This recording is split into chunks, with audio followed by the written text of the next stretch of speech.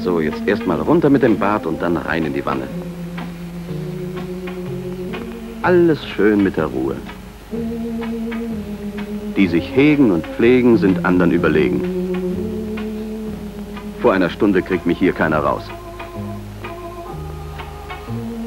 Wenn ich daran denke, wie es hier vor einem Jahr noch aussah, Junge, Junge, hatte ich eine lange Leitung.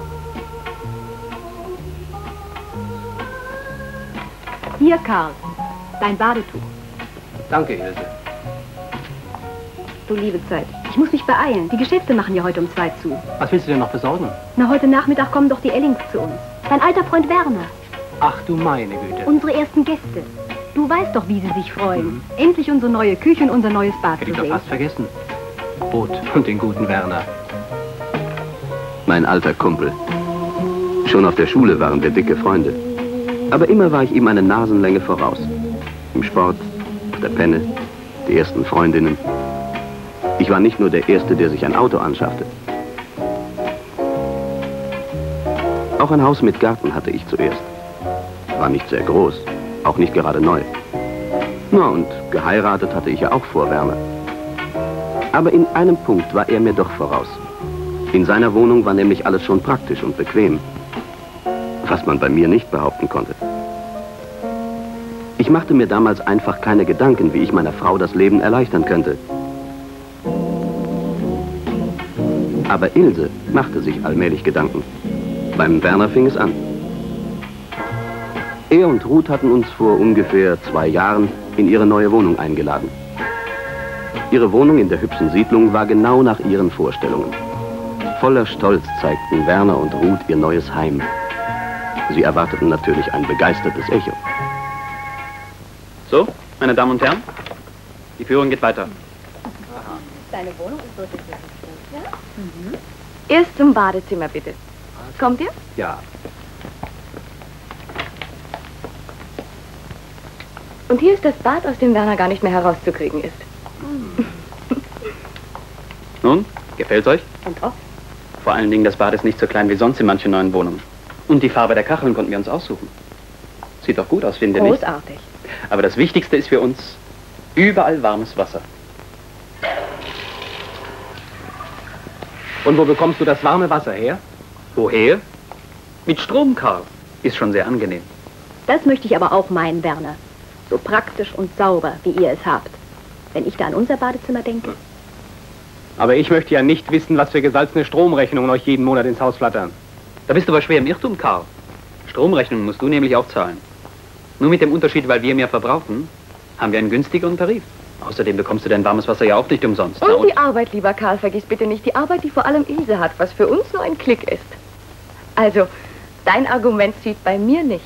Aber wir wollen uns ja nicht streiten. Kommt, die Küche, unser Prachtstück, ist jetzt dran. Ja, schauen. Gut, also hier würde ich mich auch sofort wohlfühlen. Siehst du, genau so ist es.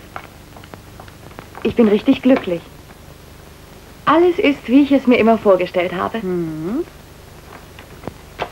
Praktischer geht's nicht.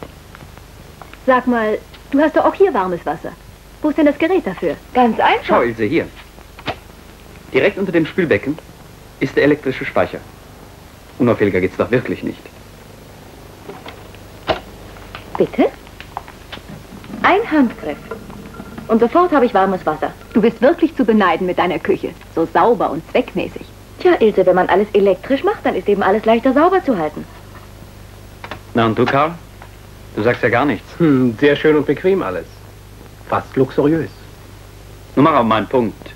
Das kann man doch nicht mehr als Luxus bezeichnen. Das sind doch heute alles Selbstverständlichkeiten, mein Lieber. An die Hausfrau denkst du anscheinend überhaupt nicht. Von mir will ich gar nicht reden. Und außerdem, wozu arbeiten wir eigentlich? Und verdienen ganz gut, Herr Schramm. Vollkommen richtig, Werner. Du hast gar keinen Grund, unzufrieden zu sein. Du wohnst in einem eigenen Haus, mit Garten. Man kann eben nicht alles auf einmal haben. So, und nun bin ich für Themawechsel. Wie wär's, wenn wir einen kleinen heben würden? Aber das klingt schon viel besser, Werner. Das freut mich aber. Na, dann kommt mal. War ich sauer an dem Nachmittag. Es wurden aber trotzdem noch ein paar nette Stunden. Na und Ilse, die war ja Feuer und Flamme. Immer wieder Werners Wohnung. So ging's noch wochenlang. Mein Glück, dass dann die großen Ferien kamen. Ilse und ich fuhren zum Waldsee. Die Kinder setzten wir vorher bei Richard und Anna auf ihrem neuen Hof ab. Ich glaubte erst mal unser Problem aus der Welt zu haben. Da kannte ich aber meine Ilse schlecht. Zuerst war es ja bei Richard und Anna ganz gemütlich.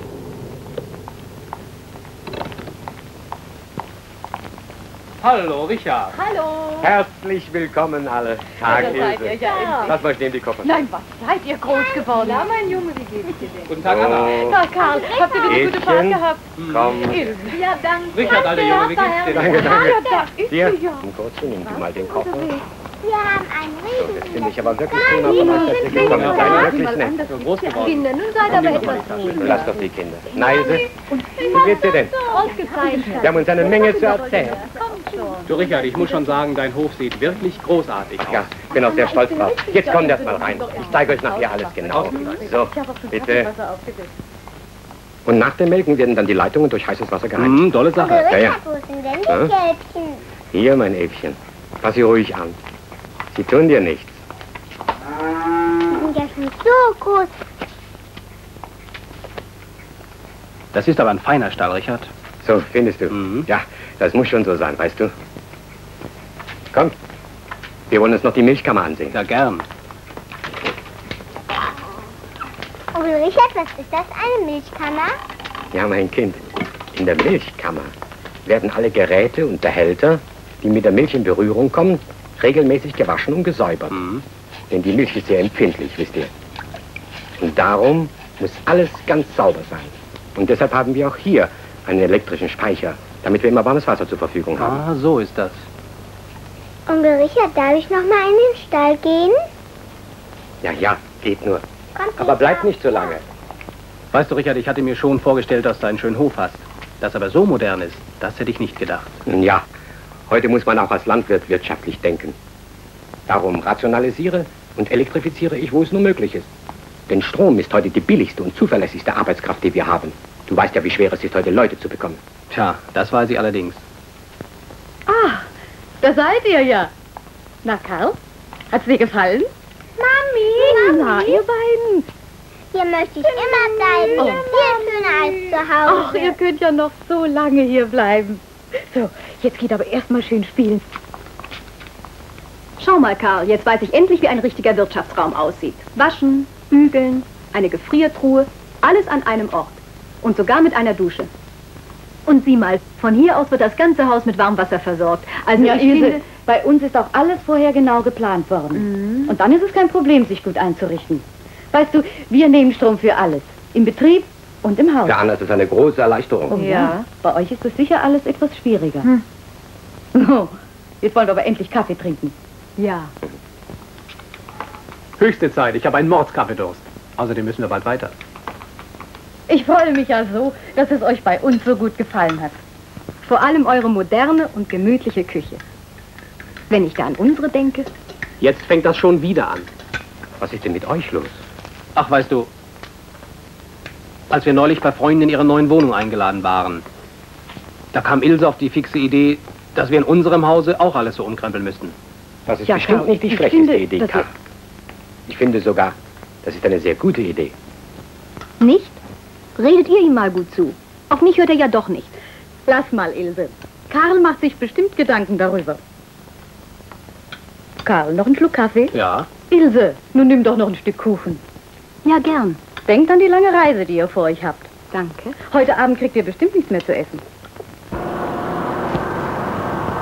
Also, so ging's nicht weiter. Unser Problem musste gelöst werden. So oder so. Davon wollte ich immer noch nichts wissen. Aber im Stillen hatte ich mir doch Gedanken über alles gemacht. So, bitte. Das ist Ihr Zimmer. Dankeschön. Mhm. Na, gefällt's dir? Ja, sehr. Hm, ich bin nicht. Wünschen Sie noch etwas? Nein, danke. Gute Nacht. Angenehme Ruhe. Gute Nacht. Gute Nacht.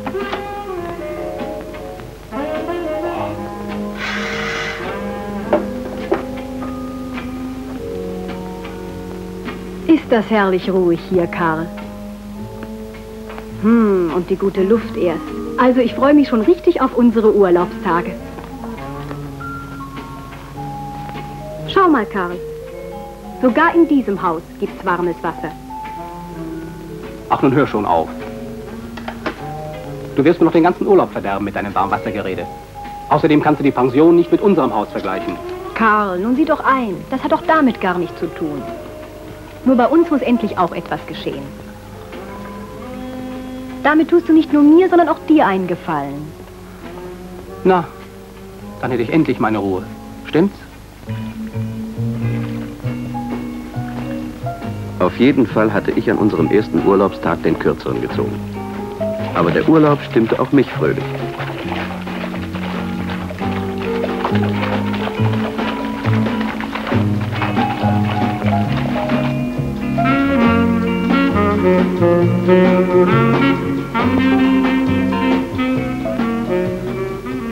Du bist heute überhaupt noch nicht auf dein Lieblingsthema gekommen. Lieblingsthema? Was meinst du?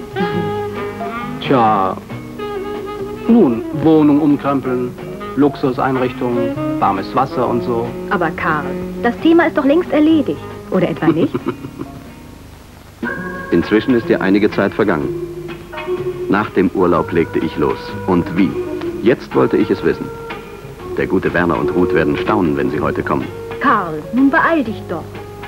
Wenn du so weitermachst, bist du immer noch im Bad, wenn Ruth und Werner hier sind. Ja, ja, ich bin gleich fertig. Nun mach aber. Junge, Junge, bin ich neugierig. Was die beiden jetzt zu unserer Wohnung sagen werden. Kann ich bitte mal den Zucker haben? Ja, die ganze. Geschichte sollte eigentlich längst erledigt sein. Aber weißt du, es hat ziemlich lange gedauert, bis die Handwerker aus dem Haus waren. Dafür ist doch alles besonders schön und praktisch geworden. Und es hat sich gelohnt. Ilse hat nun endlich einen Haushalt, der sich sehen lassen kann. Darauf kannst du jetzt aber stolz sein, Ilse. Hm? Mami, ich möchte noch Kuchen. Bitte, heißt er. Gib deinen Teller. Papi, darf ich So. gehen? Ja, geh nur, mein Junge, aber bleib im Garten. Werner, wie wär's mit einem Cognac? Du, da sage ich nie nein. Das dachte ich mir beinahe. Für uns aber auch. Na, ich werde doch die Damen nicht vergessen. Weißt du, wenn ich an euer altes Bad denke, ist es einfach nicht mehr wiederzuerkennen. Ja, das finde ich auch. Sag mal, Karl, wie viel Liter Wasser gehen eigentlich in euren Elektrospeicher? 80 Liter. Jetzt haben wir immer warmes Wasser für die Wanne und die Dusche. Und wenn die Kinder vom Spielen schmutzig nach Hause kommen, sofort unter die Dusche mit ihnen. Für Ilse ist das natürlich eine feine Sache. Ja, sicher. So, und darauf lasst uns erstmal anstoßen. Zum Wohl. Prost. Prost. Ja, Frau. Ich muss schon sagen, euer Bad ist gut gelöst. Aber am meisten hat mich doch eure neue Küche beeindruckt. Ja, Karl war nicht kleinlich. Er hat mir fast jeden Wunsch erfüllt. Na, ihr wisst ja, Ilse hatte wirklich eine neue Küche verdient. Ich glaube, damit können wir uns schon sehen lassen. Ja, das finde ich auch. Natürlich war das Ganze nicht so einfach. Was haben wir uns in den Geschäften umgesehen und vorführen lassen? Mit einem Elektrofachmann haben wir alles gemeinsam geplant. Er hat uns mit den Stiebel-Eltron-Geräten wirklich gut beraten. Im Grunde ist doch jetzt euer ganzes Haus so gut wie neu. Dazu kann man euch nur gratulieren. Ja, da müsst ihr aber der Ilse gratulieren. Denn die gute Idee, die war nämlich von ihr.